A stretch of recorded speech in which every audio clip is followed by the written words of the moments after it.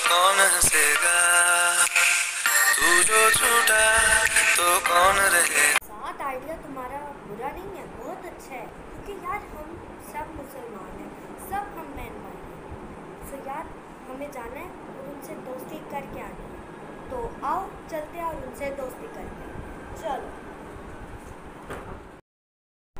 Sir, मैंने आपसे एक बात पूछनी है। शायद को और अब्दुल्ला नवाज़ का आपको क्लास का पता है कि वो किस क्लास में है? बच्चे, मैं चेक कर लेता हूँ। अगर मुझे यहाँ पर रजिस्टर में पता होगा तो मैं आपको बता देता हूँ।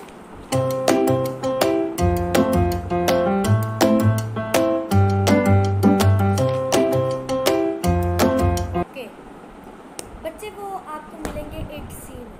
ओके थैंक यू सर अल्लाह आर वेलकम बच्चे कहाँ पर होंगे ये तो है, मतलब कि ये यहाँ पर।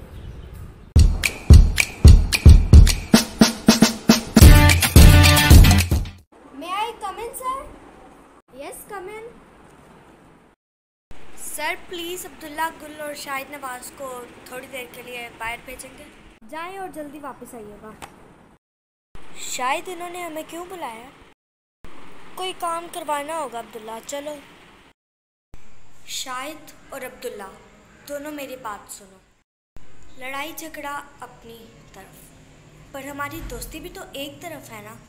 तो यार प्लीज़ दोस्ती हम दोनों से कर लो, ताकि हम चारों एक अच्छे बेस्ट फ्रेंड साबित हो। क्या कहते हो अब्दुल्ला? मान ले इनकी बात।